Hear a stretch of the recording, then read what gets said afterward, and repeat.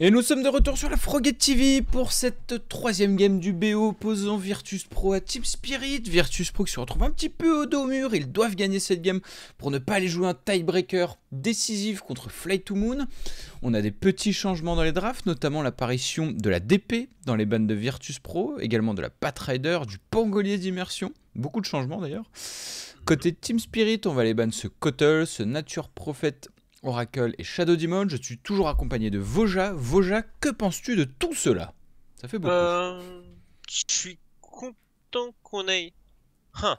Euh, J'allais dire, je suis content qu'on ait Team Spirit qu'on ait pas trop changé les badges. J'avais peur qu'ils laissent passer le Centaure. Ils ont laissé passer le Centaure, mais c'était un peu. Ah, oui. Genre, en connaissance de cause, c'est en mode ils laissent passer le Centaure et il y a l'Ember qui a laissé passer. T'es quasiment sûr qu'ils vont faire speak Ember et du coup, tu sécurises le Centaure de ton côté.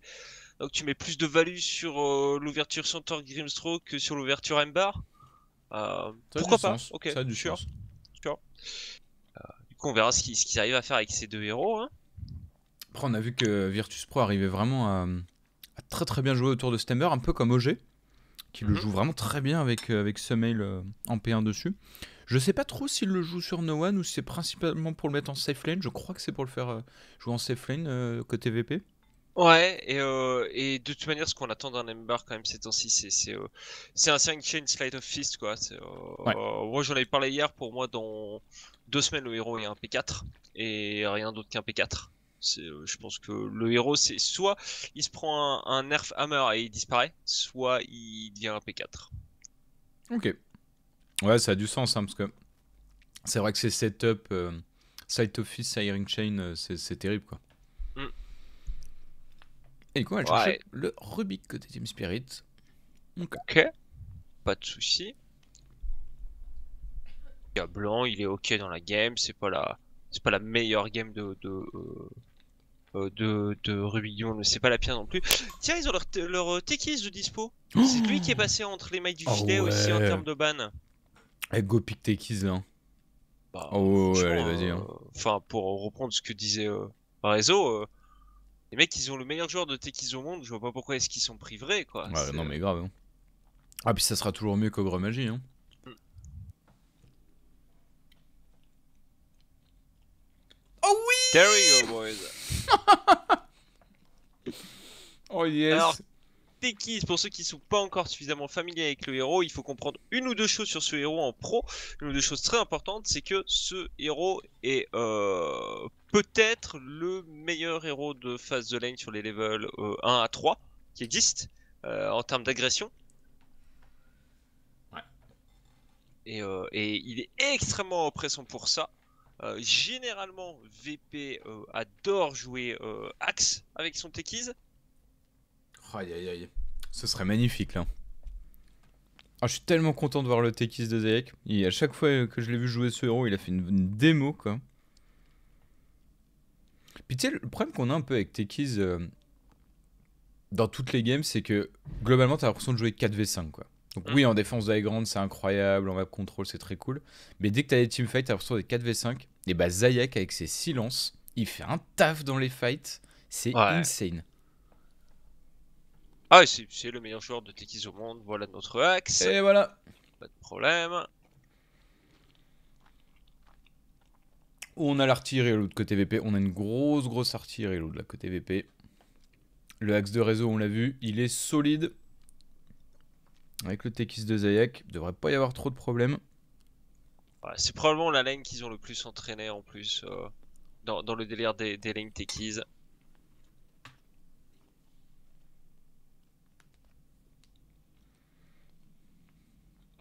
Du coup, à voir ce qu'ils ont envie de jouer en last là-dessus. Moi, je m'attends à ce qu'il manque le héros de No One quand même en last. Je pense que c'est Ember par en, en safe lane. Ouais. Euh... Du coup, le setup lane est cool. T'as des mecs pour en profiter. Ouais, t'as déjà euh, le Tekis pour aller poser le blast off dessus. Setup ton hack, le Witchector, c'est cool. Euh, du burst, t'en manque pas tant que ça. Moi, il y a un héros que j'aimerais beaucoup là en last que je trouve irait très bien avec tout ce qu'ils ont. Avec ces histoires de setup et tout, c'est Bloodseeker. Hmm. J'adore en plus contre les drafts Centaur, que j'aime beaucoup contre Troll. Euh, t'as les Searing Chain qui set up les silences. euh, pourquoi je pense Bloodseeker C'est toujours à chaque fois que je joue à Techies, moi j'ai une partie de ma tête qui pense à Bloodseeker. Euh, ce qui n'est plus vraiment d'actualité, mais c'est que euh, à l'époque où j'avais beaucoup joué des lanes Techies Bloodseeker qui étaient terriblement fortes en, en duel offline, à l'époque où le Bloodseeker gagnait des dégâts via son passif et non de l'attack Ouais. speed. Tu mettais le blast off sur les ennemis, ils étaient mid HP, ton Bloodseeker tapait à plus 50 et tu roulais tout le monde. J'aimerais bien avoir une Lina, moi, dans les mains de No One, là. Mm. Un peu squishy, mais il a un, un nombre de setups assez incroyable. Peut-être un peu weak quand même. hein. T'as Cop qui est très bien là aussi. Ouais. Ouais, effectivement, Cop aussi, c'est très intéressant.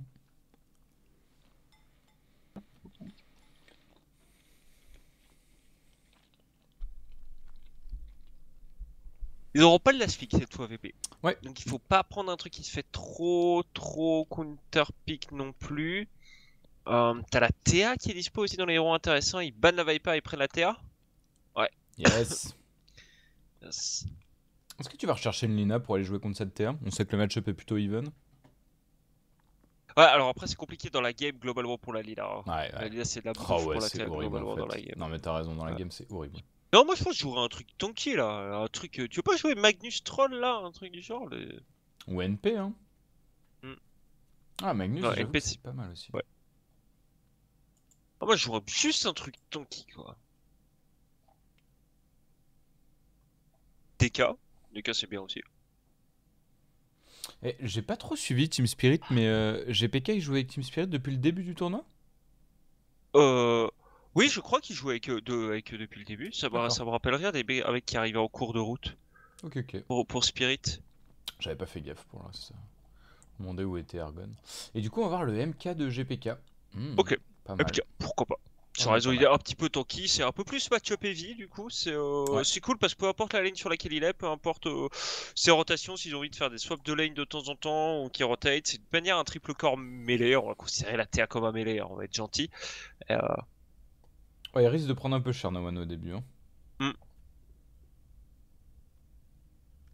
Ta préférence au niveau des drafts? Euh... ah, je trouve qu'il y a tellement de facilité dans les draft Ember ces temps-ci que je suis obligé d'aller de ce côté-là. C'est, c'est- pour moi, ils sont simples à jouer, mais Ouais. j'ai une simplicité qui est, qui est- qui est presque frustrante, quoi. Et, Siren euh, Chain, Silent Stakeys, Call Axe. Au Ouais. revoir.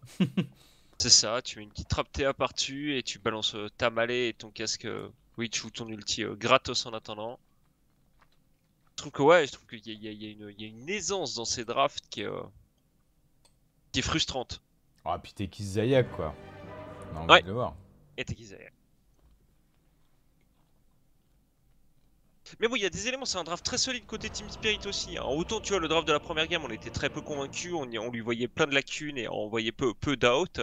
Euh, autant le draft de la deuxième game était un peu plus convaincant, autant celui-là, je trouve step up encore un petit peu. C'est un très bon draft ce qu'on a du côté Team Spirit. hein.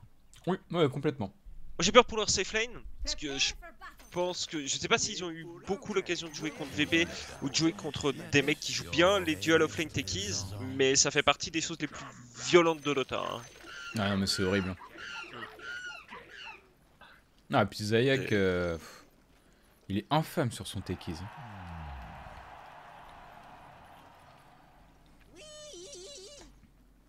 C'est ouf quoi, le héros est pas ban, il l'instant pick. Ouais. Du coup, pour toi, est-ce que Zayak, son signature héros, c'est Techies ou c'est Earth Spirit Non, c'est clairement techies. C'est clairement techies. Il faut pas, faut pas commencer, il faut pas qu'ils commencent à essayer de s'approprier leur spirit. Il y a des mecs qui lui mettent la piquette en termes de performance à leur spirit. Elle était bien meilleure que lui euh, avec le héros. Techies, il y a pas meilleur que lui. Ouais. Ouais. Franchement, j'ai rarement vu quand même un, un PK de faire marcher Techies aussi bien que lui. hein.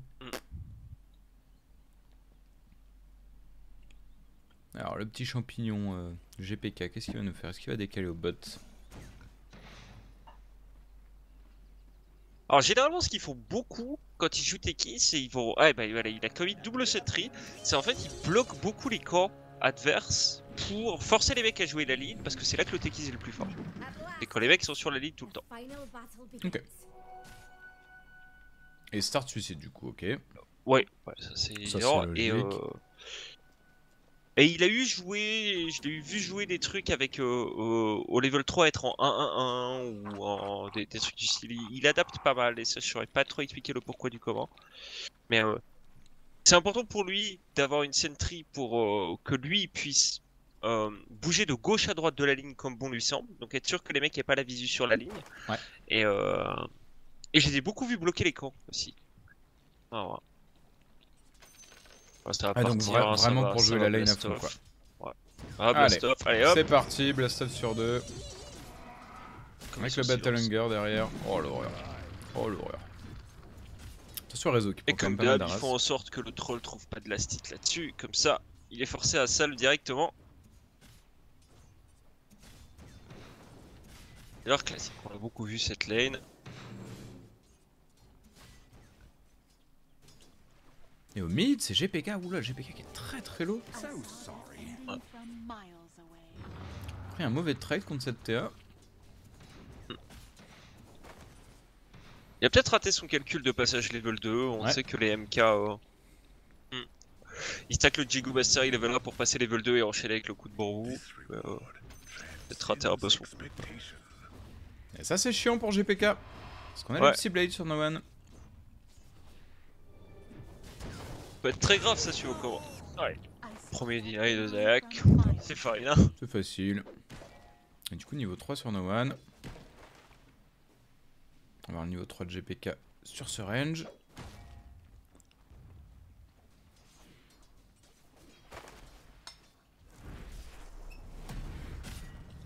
Et en haut, par contre, c'est peut-être l'Ember qui est en danger. Il y a le rétalier Ouais. d'activer, on va lift. Afterlife qui a pas trop suivi, dommage. Ah, c'est bien ce level de heal sur le dock là. Ouais. Il est nécessaire. De toute façon, la lane va pas être très, euh, très amusante côté VP. Un centaure, c'est très fort. Très tanky, beaucoup de dégâts. Ouais, réseau qui tourne pas mal. On va pouvoir mettre un Battle Hunger sur Misha. Du coup, il va aller Crypt Skip avec son axe. Ah, level 2, c'est pas super agréable. hein. Le spin fait Oh. pas encore très mal. Là. Il l'a solo kill mid. Euh, J'avais pas trop peur pour lui parce que généralement, euh, tu sais, MK, si tu perds ton trait level 1, c'est pas très grave. C'est level 3 que vraiment que tu commences à pouvoir te réexprimer, jouer. Ah, qui meurt à ce moment-là. Là, ouais, là, là, c'est très très chiant. Ouais, là c'est là c'est relou là. Là on est dans du relou là. Hmm. Ah merde. Ça c'est dommage pour GPK. hein. C'est Ouais. lui qui l'a choisi le match-up. hein. Ah bon. Normal de ne pas avoir le first skill. Alors c'est... euh, écoutez, je suis sur le euh, l'ops de, euh, du tournoi, donc on se calme.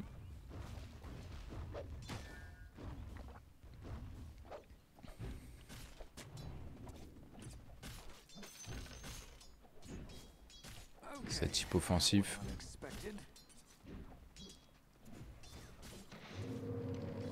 Bon, attention à Zayak. Il met une petite mine. Qui va être instant tapé par Misha.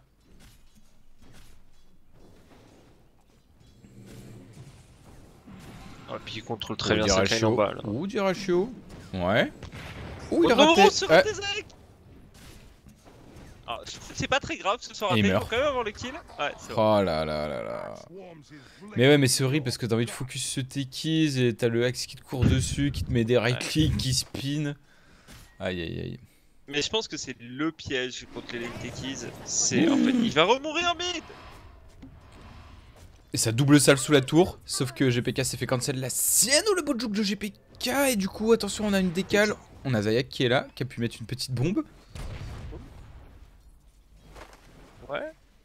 No one, c'est bon. Ah, What? Il y avait une coconut qui arrivait depuis le top costume. Génial Et c'est LTW. Oh, oh, Oh non, mais alors là, c'est terrible. hein. Parce qu'on a perdu Afterlife et GPK. Ah ouais, c'est terrible. Mais je pense que, euh, pour revenir sur ce que vous disiez tout à l'heure, je pense que c'est le piège contre les lane techies. Je pense que c'est. Enfin, il faut considérer que le techie c'est un mec qui va te mettre des dégâts de temps en temps, mais, oh, mais tu t'en fous de lui. Il faut, il faut pas, faut pas se faire bait. Il Ouais. faut, il faut, il faut. Ouais. Aïe aïe aïe, et il trouve la War, no one. Je sais pas si c'est lui qui avait posé la sentry, je crois pas, je crois que c'est le Techies. En fait, c'est ça, c'est que Zayak, c'est un bon retard magnet, tu vois, il attire toute la haine sur lui. Et il trouve un silence encore une fois. Attention parce qu'il est low d'Irachio, il va prendre un Battle Hunger. Est-ce qu'il peut faire quoi que ce soit? J'ai l'impression qu'il est mort, hein. Mais il est mort d'Irachio Oh l'enfer Ouais. Aïe aïe aïe Game is gonna be hard. Ouais. Ouais ouais ouais. Allez, GPK qui prend la flotte au mid là, ça c'est dur.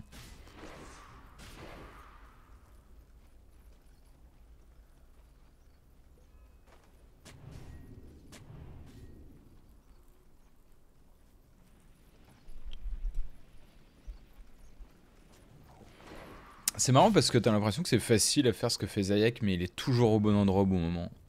Ah, complètement, ouais. Ces silence, ils sont goldés quoi. Et franchement, quand t'as un Tekis qui joue bien avec toi, c'est certainement un des meilleurs héros du jeu. Ah, mais sur, sur la phase de ligne, sans aucun doute. Hein, sur Ouais. le level euh, 1 à, 1 à Oh, 4, Noël. on va dire, 1 à 5, c'est- le meilleur héros du jeu. C'est bien joué. Au mid. Sur un dive encore une fois sur GPK. Cette fois-ci on avait eu euh, la rotate du P5 de Team Spirit. Et Diracho il va encore mourir. Ouais.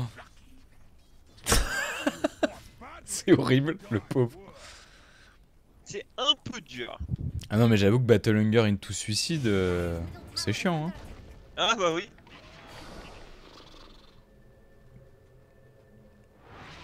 Merci on TP Fontaine.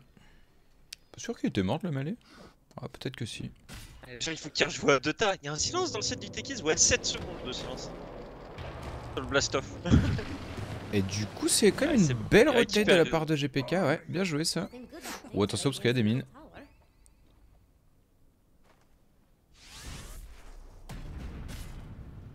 En haut, la calienne qui va activée. Un go sur ça. Oh ouais. Le beau airing chain de LTW. Et du coup, on va les coconuts. Ça va rebondir dans les cris. Est-ce qu'on arrive à retrouver un rebond Non. On va le brûler. Pourquoi Petit je robotise là? C'est quoi le problème?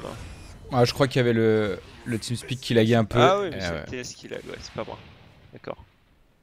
Oh, GPK qui tue Zayak, mais du coup, perd la vie. Et il donne le kill à No One. Et on parlait de ce retard magnet un peu qui est, qui est le Tekis. Et encore une fois, ça paye. Parce que certes, il meurt. Mais du coup, c'est le, c'est le singe qui est récupéré par No One. Radiant's middle tower is under attack.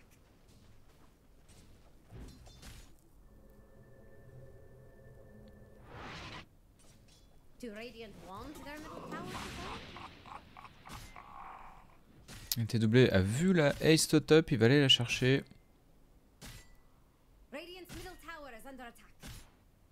Ok. Dire's top tower is under attack. Diracho à son niveau 6. Ok.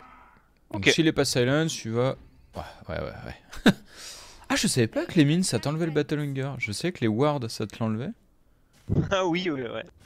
Ah ouais, ça c'est pas mal du coup.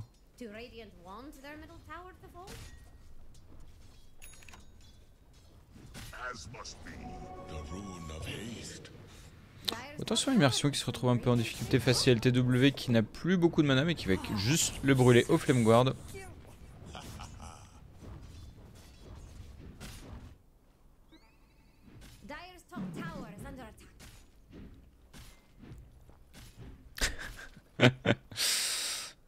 Aïe aïe aïe.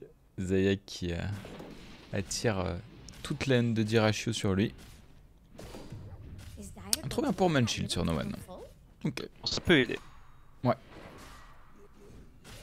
Et réseau il nous fait quoi? Il fait face boost Dirachio sur son troll, ok. L'ulti euh, pardon, euh, Centaur est lâché au mid, on n'a pas de détect. Si on a une sentry qui être posée de la part de Immersion, attention LTW qui va venir backup son midlaner, midlaner qui a pu stick une première fois, No One va s'en sortir, qu'est-ce que c'est bien joué de la part du LTW Attention à ne pas y laisser, euh, pas y laisser des os.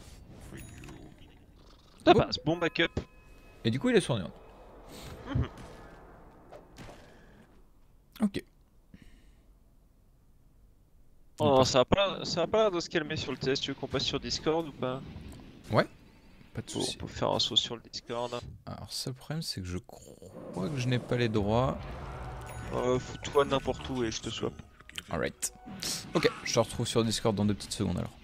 Yes.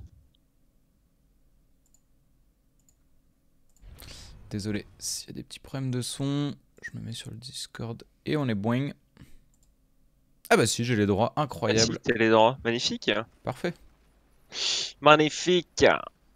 Bon, ils sont dans une bonne situation VP quand même. Là. Leur triple core est bien installé. euh, tout va bien. On n'est pas spécialement dans la merde côté Spirit. hein. On est un peu derrière sur les corps, mais les supports sont un peu devant. L'un dans l'autre, Ah, ça s'équilibre. c'est chiant d'avoir le MK derrière quand même. C'est un Ouais. héros qui joue mal de derrière. Ah, on va récupérer réseau quand même, ça c'est bien. Mais voilà, faut qu'il faut qu'il skill son primal spring et qu'il continue à essayer de participer au kill et qu'il alterne entre farmer tranquillement et, euh, Ouais. et participer au splash gold des assists et compagnie. Ah et bah, ça ira. Oh, c'est raté ça. bah solo. oui, solo. euh. Mais il y a ah, ouais, d'accord. Ah, il me semble bien que- condamné Afterlife et le silence de, de Zayak qui se deny au passage. Ok. Qu'est-ce qu'il nous fait sur, euh, sur son Ember Il va nous faire du coup ok, la classique vaisselle. Le axe Roche sa dagger, il en a plus qu'à 900 gold. 7 TA approche de son déso. Et GPK. Ah bah GPK, il a toujours pas face boots. Euh, ah, c'est chiant ça. hein. Il les Et a. le, Ru- le Rubik qui a volé les trappes TA, c'est très cool à avoir comme spell. Ça Ah, pas mal, ouais. Petite visu partout. Et je crois que c'est un des rares spells que quand tu perds le spell, tu perds pas les trappes pour autant. Tu vois, genre les. Ah ok, tu les gardes sur la map et tu peux les faire péter du coup. Ouais, tu peux les faire péter. Mais surtout, t'as de la visu. Mais je, je crois bien que c'est le cas. Bah voilà, là il vient de de spell. Ouais, il garde ses deux trappes. Ouais, c'est ça. Par mais- exemple, si, si vous volez le Holy Persuasion, vous pouvez prendre des creeps. Mais si vous perdez le spell, vous perdez les creeps. Ah ouais, ok. ouais. Euh, Mais avec les trappes TA, vous, vous conservez ça. Alors sur le druide, vous le perdez si vous perdez le spell, et, etc.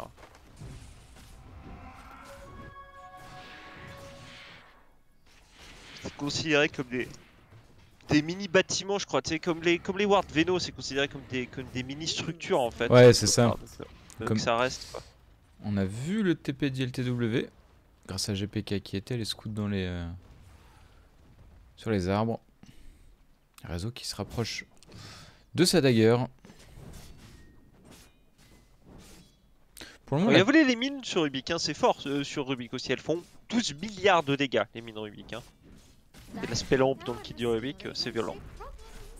est-ce que t'as vraiment envie de fight au bot là? Ah, on est 4 quand même côté Team Spirit. Hein.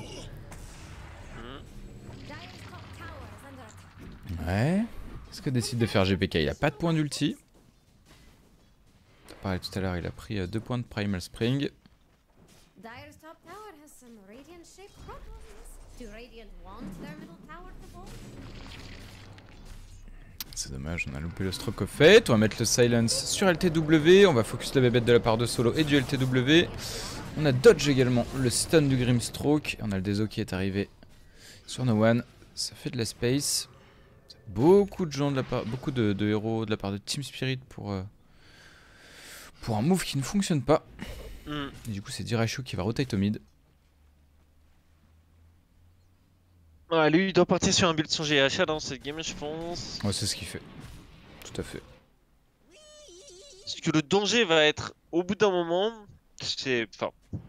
Tourner en boucle sur les mêmes choses, hein. Mais le danger, c'est les setups Searing Chain. ouais, ouais, non, mais complètement. On a un call de réseau qui est trouvé au mid sur Dirachio où il va spin assez pour lui mettre quand même assez cher. À pouvoir stick. Puis il est pas. Oh ouais, je dire, il est pas maxé ce coup. Il est pas du tout maxé. Il y a 3 points de Battle Hunger. Ah ouais, ouais c'est pour ça que le Battle Hunker fait aussi mal aussi. Donc ouais, il y a encore de la marge avant que. TADD. Oh, on a fait péter Faut des mines. Ouh, il est pas bien. Le La trap. Oh là là Ah, là ah, il l'a déjà là. vu le. C'est bon, il y a Noël qui est là. Oh, quoique. Ok, bien joué de la part Ah. d'Afterlife qui peut reculer. Oh, on trouve un call sur le Ruby qui s'est fait, qui s'est fait complètement ouais sur cette DD de notre bon No One qui va également récupérer Misha et c'est GPK qui me semble un petit peu euh, embarqué dans un plan, euh, un plan fesse comme on les appelle. Franchement, on les- s'en sortir et aller faire rush, non? Ah bah, il est mort de toute façon. Ouais. faire rush des délais sur TA, non. Non? Non, non, Non, il même meurt pas. D'accord, tant pis. En plus, il avait son déso. Tuer des vrai. héros. Ah, peut-être que c'est. Il y a de plus en plus d'équipes qui osent pas du tout aller faire des rushs, même si t'as genre full team, tant qu'il y a encore la, la T1 mid en face. Ouais, mais ceci dit, il n'y a pas la T1 mid en face. Non, mais il vient de la casser. Ah, pardon, ok, d'accord. Oui. Ouais. Bon, C'est ce qu'il a été faire No One plutôt que de ouais. dans le pit. Attention à Dirachio. Non, il va pouvoir euh, finir. Ouh, Réseau qui a pris énormément de dégâts du coup, et on va perdre Réseau. Ouais. Il se retrouvait seul. No One qui est bien positionné, mais qui. Attention, parce que s'il y a une sentry. Ouais, attention, No One, c'est peut-être un petit peu compliqué. C'est dodge de la part de GPK, mais ce sera pas assez, parce que la vache, les dégâts d'une TA. Qu'est-ce que c'est violent On essaie de faire. euh, Je crois qu'il essaie de jouer avec l'Epsi Blade, mais non. Petite là, ça dagger. découpette de singe au passage. Il a dagger des eaux minute 15. Ouais. Ouais. ouais. Là, on a un problème de TA qui commence à s'activer.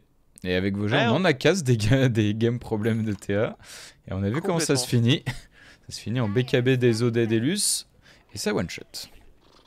On en parlait un petit peu hier avec, euh, avec You des, euh, des héros qui ont des euh, power spikes en termes d'items dans Nota. Et, euh, et on définissait ça en deux catégories. On disait il y a, y a- y a y beaucoup de héros dans Nota qui ont des gros power spikes sur BKB plus autre chose. Et, euh, et on citait notamment la TA comme étant probablement le meilleur héros de Nota avec un power spike 3 items Oh de ouais. mid-game. Le, le, le dagger des eaux BKB est terriblement violent. Ouais, et puis elle en fait, c'est le fait qu'elle l'ait si tôt, quoi. C'est- horrible, quoi. Et on citait aussi, on disait qu'on parlait sur, partait sur cette réflexion à cause de la spectre, on disait c'est vachement intéressant à quel point spectre en fait, euh, peu importe les combos d'items, il y a des power spikes violents. Ouh, on a raté ce. De peu. Ouh, GPK, il a pas, il a pas peur. Hein. Est-ce qu'on va aller chercher un fight côté, euh, côté Team Spirit? Attention parce qu'on a un niveau d'ulti disponible sur le singe. Il y a aussi également en, en Power Spike quand même, malgré tout, la BKB du Monkey qui est assez insane. BKB plus M- euh, Echo ou un autre. Ouh, et du coup, c'est Afterlife qui va être condamné avec ce très beau call de résolution. Tiens, mais qu'est-ce qui a bien pu setup ça Mais c'est une Searing Chain Bah oui, évidemment. et oui. Allez, Et hop, encore une fois. suivant, c'est Fripsy Blade. Hein. Mm. Oh, il va être obligé de lâcher l'ulti. Oh, il est obligé de lâcher Mais je pense qu'il est l'ulti. mort quand même, non? Ah non, pas si là, il va TP. Parce que sur le fini maintenant, il reste un type de palais quand même. Non, ça va. Ouais, ça Ouais, le- sur le dernier tick, il y a eu 0 dégâts, donc ça va. Ouais. Et regarde le network de GPK. Hein. Ouais. MK, on le disait tout à l'heure, ça se joue pas de derrière. hein. Quand ça se joue de derrière, c'est un peu la PLS. Faut moins BKB, plus un item pour pouvoir exister. Et là, il, a pas encore, mais il a toujours pas éco-sable, j'avoue. Oh, oh, aïe. Même pas si ça vaut la peine de faire écho sabre à ce stade-là. Ouais, fais straight BKB et essaye de jouer à Dota, hein, sinon la gamme elle va être finie au bout d'un moment. No One il a beaucoup trop. Et attention, c'est euh, c'est sur le top euh, solo qui a trouvé une engage No One qui va pouvoir one shot immersion et le TW qui va aller euh, et Oh, courir sur swing Misha. chains, Ouais. Ok, du coup, c'est peut-être. Toujours une- compliqué dans le fog. Hein. Ouais, parce que ça proc rapidement s'il n'y a qu'une seule personne en plus. On a la dagger sur Afterlife qui est arrivée. Oh, Tiracho qui se fait one shot par, euh, par Zayak. Et voilà. Alors là, là, bah. Là, euh, perso, je suis full tilt. en pub, euh, j'en peux plus. Je suis dirachio, je suis 8 tilt. Ouais, c'est clair. je suis Dirachio, je suis tilt. Je reste fontaine. Aïe, aïe, aïe, aïe, aïe. Et on a une vision quand même euh, overall sur la map côté VP grâce à ces trappes, à ces mines de partout là. Hum, C'est une charge de vaisselle un peu pour rien ça, il y a TW. Il vient de donner les chains euh, à ce bon immersion. Ça smoke côté, côté Team Spirit. Ouais, ils essaient de réexister sur la map, mais c'est tellement dur. C'est un peu la situation de la game 1, quoi. Il faut faire. Là, il y a tellement de visu de la part de VP entre les mines techis et les trapteurs. Regardez le nombre de petits points. La map, elle a la varicelle. L'engage sur No One C'est pas trop mal, on va pouvoir setup l'ulti de, de GPK derrière, il arrive pas à taper parce qu'il est stun, c'est très bien ça, on arrive quand même à récupérer No One. Et du coup on va continuer à chase avec l'ulti d'Afterlife qui est quand même bien senti, est-ce qu'on retrouve une dagger? Non, avec cette mêlée on ne retrouvera pas de dagger, ça c'est sûr. Et Réseau qui va il revenir dans la mêlée, s'il va mettre un Battle Hunger plus mêlée sur Dirachio, c'est des dots vraiment embêtants. Ok. Quand même. Oh là là là là. Oh, oh là là là Oh là là là. Le festival Oh. Le festival Mais tous les jours faut le ban ce héros, putain. Et Dirachio qui se retrouve condamné au top. Est-ce qu'il a, il a un niveau d'ulti Ok. Et du coup, le call qui est lâché pour tanker un petit peu plus côté réseau. Et c'est LTW qui va arriver. Et on va finir ce kill. Tiens, d'ailleurs, pourquoi il l'a pas que Linkblade plus tôt, réseau? Je sais pas. Il attendait peut-être LTW pour. euh, Non, c'est Ouais, bizarre. juste pour la charge de vaisselle, peut-être? Ouais, peut-être, ok.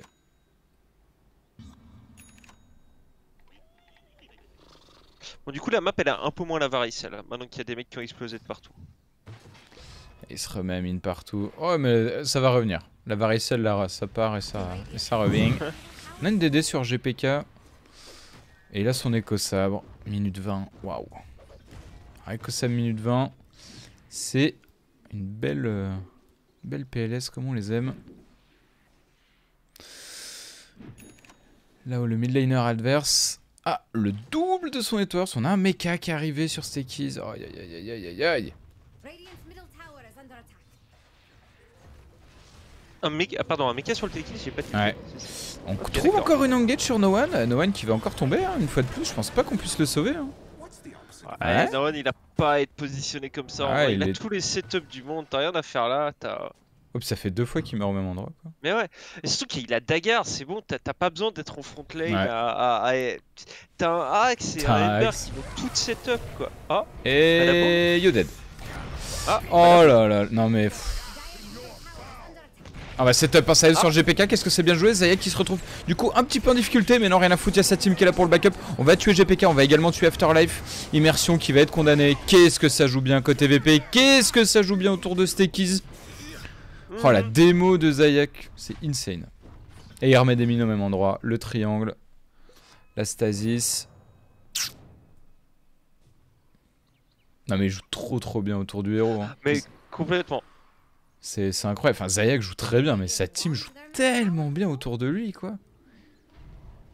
Eh non, mais il- enfin, c'est, quand même. Regardez Zayak jouer Tekis, c'est quand même un art. hein. Parce que c'est, quand même pas un truc qui est. euh, tout le monde sait faire l'abruti avec Tekis et passer 10 minutes à mettre des, euh, à mettre des, des remote mid et ensuite voir le support adverse qui se pointe avec une sentry et puis, euh, et puis perdre toutes tes mines. Ça, tout le monde sait faire, y a pas de problème. Euh, mais par contre, avoir une, une dynamique et une rapidité comme Zayaka pour. euh, et euh, on va dire mettre en place tous ces trucs et pas trop overcommit.